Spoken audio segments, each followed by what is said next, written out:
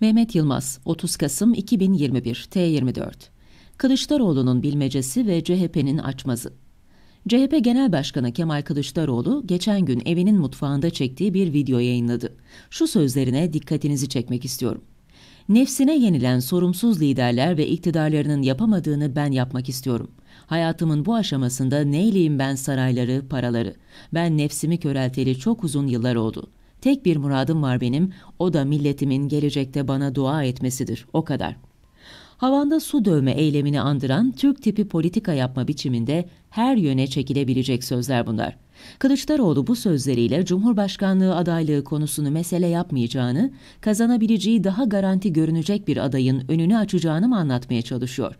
Yoksa tam tersine parlamenter sisteme geçişin altyapısının da oluşturulacağı bu geçiş döneminde en iyi Cumhurbaşkanı adayının kendisi olacağını mı ihsas ediyor? sarayla parayla ilişkisi olmadığını vurgulayıp nefsini de körelttiğini söylediğine göre birincisi olmalı diyebilirsiniz. Seçimi kazanabilecek güçlü bir adayın arkasında durarak bugüne kadar politikada kimsenin yapmayı başaramadığına mı talip? Öte yandan daha önce söyledikleriyle birlikte değerlendirecek olursak da tam tersi bir sonuca ulaşabiliriz. Egosuna yenik düşmeyecek, sistemin değişmesinin yolunu açacak, bu arada da ittifak koalisyon ortaklarının birlikte oluşturacakları programı uygulayacak bir cumhurbaşkanı tarif etmemiş miydi? O tariflerdeki ipuçlarından yola çıkacak olursak da bu sözleriyle aslında kendi adaylığını üstü örtülü olarak ilan ediyor gibi görünüyor. Havanda su dövme esaslı Türk tipi politika yapmak derken de bunu anlatmaya çalışıyordum. Kılıçdaroğlu öyle ortadan konuşuyor ki bu sözleri oraya da çeksek gider, buraya da çeksek gelir. Daha önce de yazmıştım. Seçime 19 ay var ve bugünden bir aday ilan ya da tarif etmek gereksiz bir iş. Sistemi değiştirtebilmek için de Cumhurbaşkanlığı seçiminde Recep Tayyip Erdoğan'ı yenmek tek başına yeterli değil. Meclis seçimini de kazanmak, anayasa değiştirecek bir çoğunluğa ulaşılamasa bile referanduma götürecek çoğunluğu sağlamak gerek. Seçime yaklaşılırken araştırmalar Erdoğan'ı kimin yenebileceğini gösteriyorsa aday da o olmalıdır. Bugünden şu kazanır, bu kazanır diye zar atmanın bir anlamı yok. Ancak bugünden yapılması gereken geniş kitlelerin teveccühünü kazanabilecek bir programı ortaya koymaktır. Meclis çoğunluğunu kazanabilecek olan şey, Cumhurbaşkanı adayının kişiliğinden daha çok ortaya konulan ortak program olacak. Erdoğan, kontrolsüz ve dizginsiz bir şekilde vahşi kapitalist bir programı yürürlüğe koydu.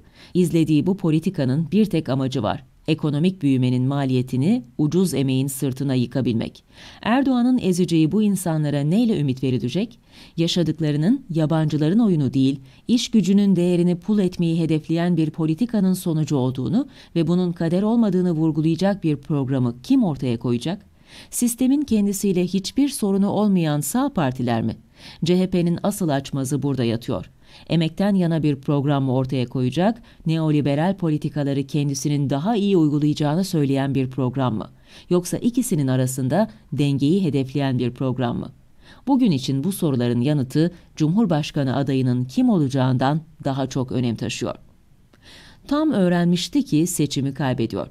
Cumhurbaşkanı Erdoğan, Türkmenistan dönüşü uçakta kendisine sorulmasına izin verdiği soruları yanıtladı. Yanıtlarından bir tanesini not ettim.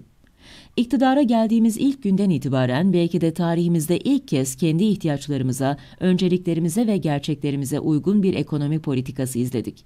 Buna da aynı kararlılıkla devam ediyoruz. Yani biz ekonomik olarak da bağımsızlaşma mücadelesi verdik. Bu adımları attıkça içeriden dışarıdan vesayetçilerin dirençleriyle ekonomimize yönelik türlü saldırılarla karşılaştık. Bunların her birini milletimizle birlikte bertaraf ettik. Bizi kendi istedikleri çizgiye çekmek isteyenlerin kur, faiz oyunlarına prim vermedik, vermiyoruz. Büyüme yolculuğumuzda yatırım, üretim, istihdam, ihracat hep önceliğimiz oldu. Felaket tellallarına, mandacı iktisatçılara, ekonomik tetikçilere aldırış etmeden hedeflerimize yürümeyi sürdüreceğiz. Bu sözlerden ne anladınız? Böyle söylediğine göre iktidarla geçirdiği 19 yıl boyunca kendi ihtiyaçlarımıza ve önceliklerimize ve gerçeklerimize uygun bir ekonomi politikası izlememiş. Neden? Bütün bu süre boyunca tek başına iktidardaydı. Başkanlık sistemine geçildiğinden beri MHP'nin ve Devlet Bahçeli'nin himmetine muhtaç ama ondan öncesinde ne istese yapabilecek siyasi güce sahipti. Daha doğrusu biz öyle zannediyorduk. Bunca yıldan sonra kendi gerçeklerimize ve önceliklerimize uygun politika uygulamaya başladığına göre o yıllarda bize gösterdiği kadar güçlü değilmiş.